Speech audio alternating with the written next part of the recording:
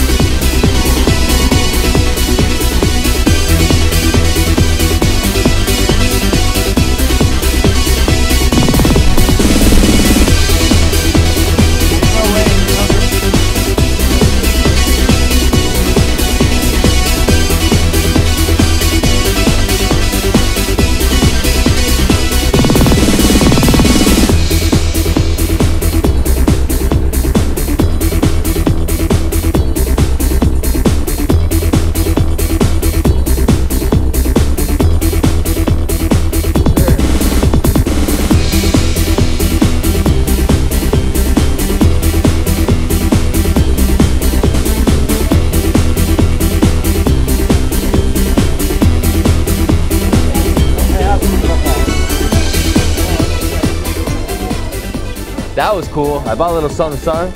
This is the Old Medina. Where have you been?